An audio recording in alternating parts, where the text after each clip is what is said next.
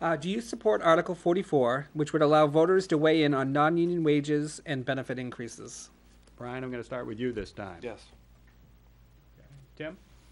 I signed the petition, I remain in support of it. Uh, Mary Louise? Forty-four, I'm trying to think, is that Mr. Kravitz's article? Yeah. It is. Yes, I absolutely support it. Jim? No, Okay. How is this currently written.